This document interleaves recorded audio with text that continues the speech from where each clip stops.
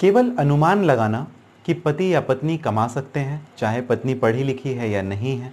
केवल अनुमान लगा करके एक मेंटेनेंस यानी भरण पोषण की राशि कोर्ट के द्वारा दे देना क्या ये सही है? जी हाँ एक महत्वपूर्ण जजमेंट और ये जजमेंट है Sapan Kumar Banerjee versus State of West Bengal. इस जजमेंट में कोर्ट ने यही बताया था। इसके बारे में ज़रा बात करते हैं।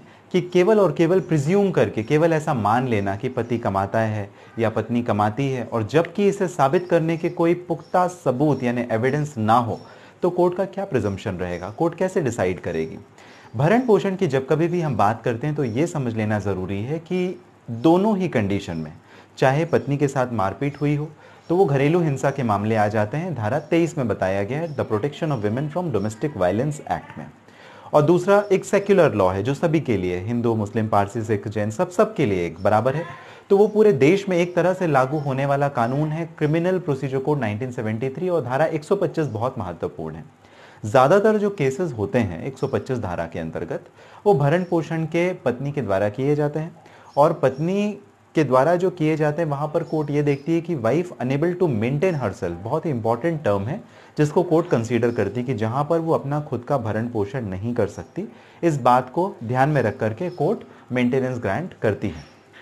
लेकिन, जब कभी साबित करने के लिए पुख्ता सबूत ना हो तो तो यही बताया गया था Sapan Kumar Banerjee versus State of West Bengal के केस में।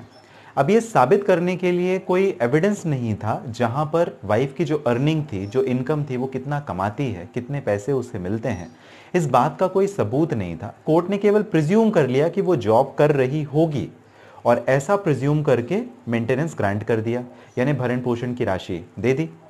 अब इसे चैलेंज किया गया हाईकोर्ट के ऊपर। और जब हाईकोर्ट में अपील गई तो हाईकोर्ट ने कहा कि जब सफिशियंट एविडेंस नहीं थे तो कोर्ट केवल प्रिजम्पशन के बेस पे इस क्वेश्चन को डिसाइड नहीं कर सकती थी। और ये इस वजह से महत्वपूर्ण जजमेंट हो जाता है।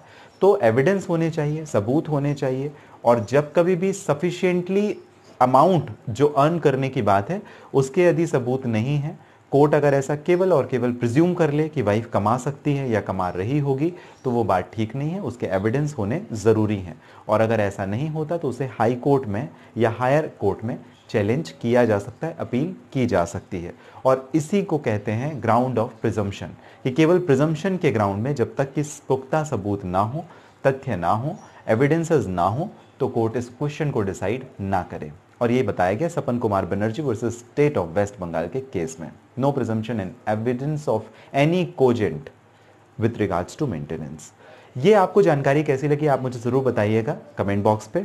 और साथ ही किसी परेशानी के लिए यदि करना चाहते हैं बात, इस वीडियो के डिस्क्रिप्शन में डिटेल है लिंक है, जहाँ से आप डायरेक्ट अपॉइंटमेंट बुक करके कर सकते हैं बात। आपको अगर जानकारी पसंद आती है लाइक सब्सक्राइब ज़रूर करें। ऑनलाइन लीगल एडवाइस आपका अपना चैनल है। मिलते हैं अगले वीडियो में, तब तक के लिए रखें आप अपना ध्यान।